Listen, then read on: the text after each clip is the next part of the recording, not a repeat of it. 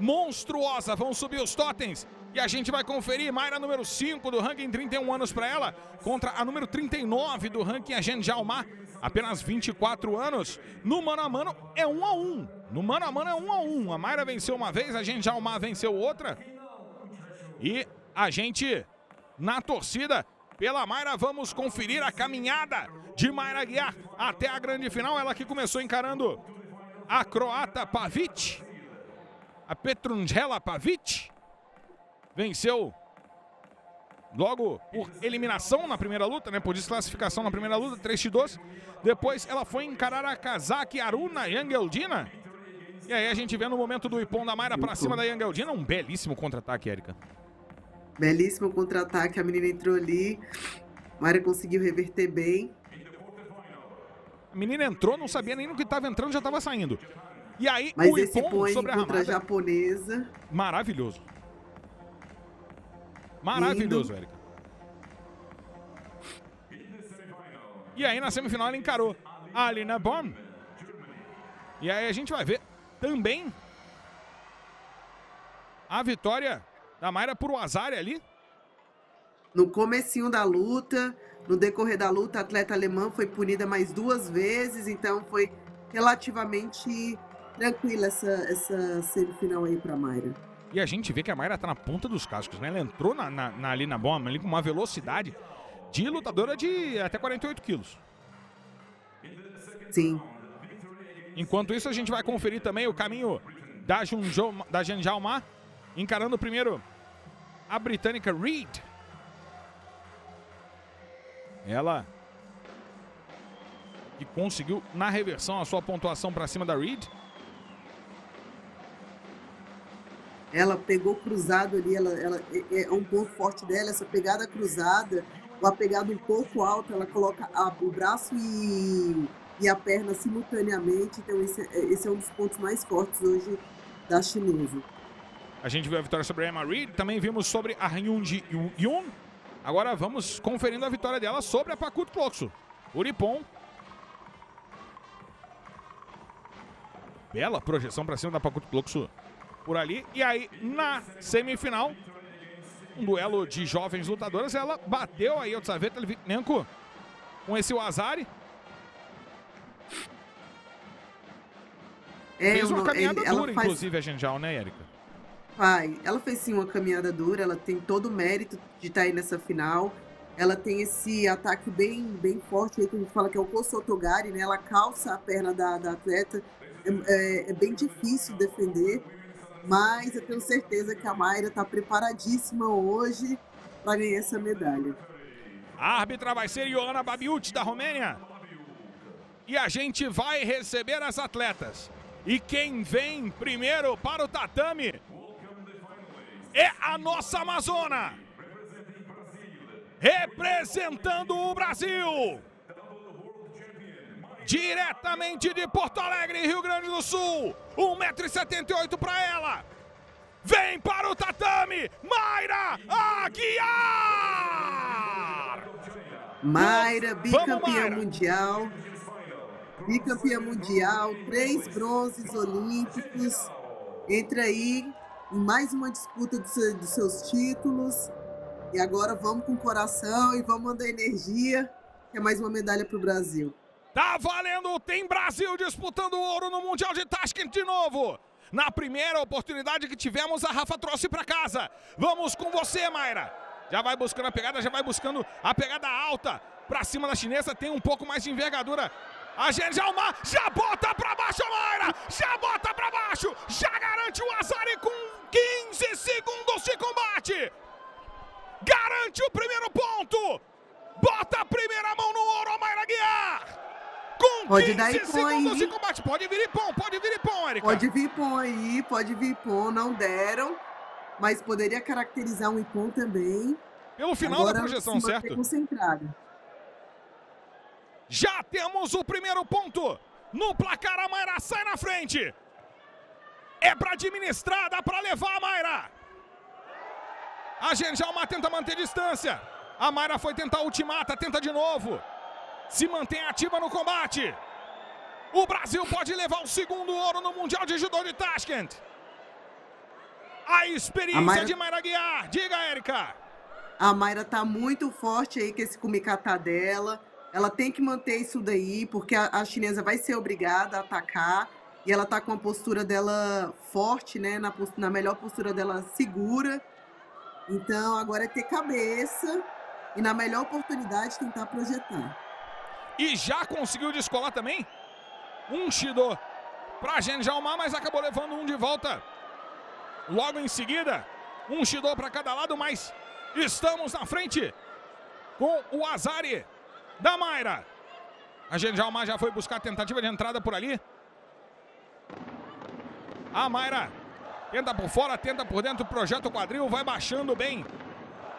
Ah, vai tirando a altura, a envergadura da Genjalmar, vai de novo pro ataque. A Mayra tenta continuar na projeção, defende muito bem por ali a Genjalmar. Em o comando de Matheus, a Mayra tá muito bem na luta, tá ativa, tá se defendendo, tem vantagem, tá administrando esse resultado, pode vir ouro para o Brasil. Ela tá bem concentrada, a Mayra, né? Tá, tá brigando bem aí pro Kumikata, não tá deixando a chinesa solta, isso é bem importante. Então é isso daí, é, é atenção nos mínimos detalhes. Já tem de novo a pegada na gola, vai baixando, a Mayra muito forte, tirando a vantagem de altura da Genjalmar, deixando sempre a base dela bem para baixo. Vai novamente tentando os ataques pelo lado de fora. 1 minuto e 50 para o ouro do Brasil. Vai mantendo a Genjalmar sem espaço para atacar, tenta a projeção. A chinesa defende muito bem a Mayra. E vai ela para tentar. A transição no Neosa veio.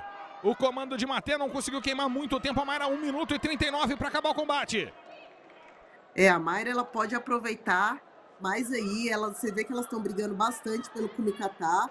Quando a Mayra tiver chance, ela, ela tem que aproveitar mais o Neuasa aí para queimar um tempinho até mesmo para finalizar porque agora falta muito pouco. A torcida brasileira está com você, Mayra. 1 minuto e 17 segundos pro ouro. Vai tentando a projeção, Amar. Também tenta a projeção. A Mayra baixa bastante a base da Genjalmar. Vai controlar por ali. Vem comando de Matê. Vem dando uma aula no combate a Mayra Guiar. Vem um Shidó para cada lado. E agora as duas lutadoras vão ter que ser mais ativas.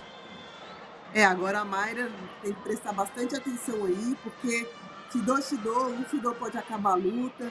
Ela tá com a vantagem, não precisa se expor nesse momento. Tá trabalhando certinho com o Kumikata. É manter isso daí até o final. Faz mais uma vez a projeção de quadril, 45 segundos para o final do combate. A Genjalma tenta o ataque. Se defende bem a Mayra. Mantém a pegada na gola bem alta. Vai de novo para a projeção. A Mayra defende por ali a Genjalma. 34 segundos para o final do combate. Vamos de olho nas atletas que conquistaram o bronze. A Mayra novamente vindo para cima. Genjalma se arremessa ao chão. Pode caracterizar aí uma punição, mas como falta pouco tempo, talvez a arbitragem só vai deixar seguir. 20 segundos para o ouro. O Brasil está ao lado de Mayra Guiar. 15. Falta muito pouco para o Brasil garantir o segundo ouro no Mundial. O terceiro ouro mundial da carreira de Mayra Guiar. Tenta a projeção, defende novamente a Janjalmar. Vem comando de Matê. Quatro segundos para o final do combate. A Iora Babiut bota as duas no centro do ringue, no centro do tatame. Mayra tem que se defender por quatro segundos. Ela pede silêncio da técnica chinesa. Dois, um, é ouro para o Brasil!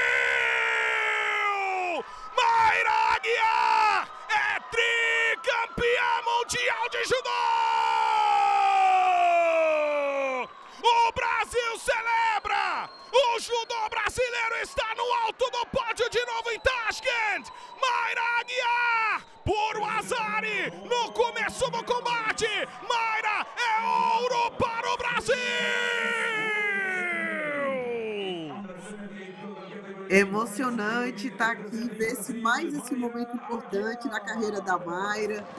Assim, me faltam palavras para dizer a atleta que a Mayra é, o exemplo tricampeã mundial. A, a, gente, a câmera mostrou ali o Kino, tomara que ele não deu um infarto hoje, né? o, ele é técnico do masculino, mas também é o técnico da Mayra. Então, assim, parabéns, tricampeã mundial, mais uma medalha de ouro para o Brasil. Que orgulho ver isso daí. Mayra, você é gigante demais. Mayra, você é gigante! A maior campeã mundial brasileira de todos os tempos! Ouro em Chelyabinsk 2014! Ouro em Budapeste 2017! Ouro em Tashkent 2022! Mayra, você é absurda! O Brasil garante o segundo ouro! Volta aos estágios mais altos do quadro de medalhas e volta, volta a ter duas campeãs mundiais no judô. Rafaela Silva e Mayra Aguiar, Érica! Que competição para o Brasil, que competição da Mayra, da Rafaela, de todos os atletas que medalharam e até mesmo dos atletas que não medalharam. É, a Mayra hoje entra para a história, três vezes campeã mundial, fora os outros títulos mundiais que ela já tem.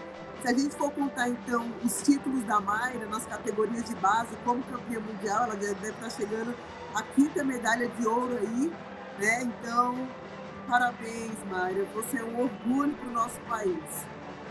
Eu, eu preciso dizer, eu estou extremamente emocionado. Eu tive a oportunidade de narrar o ouro da Rafa, agora o ouro da Mayra.